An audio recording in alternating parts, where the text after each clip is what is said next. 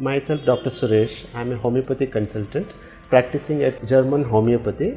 It's located at Indira Nagar, Bangalore. I'm specialized in skin, allergy, and infertility, and various other disorders.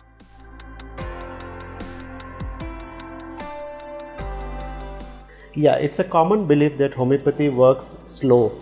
Actually, unlikely, homeopathy works very quickly in acute ailments like cold, cough, fever, and loose motions.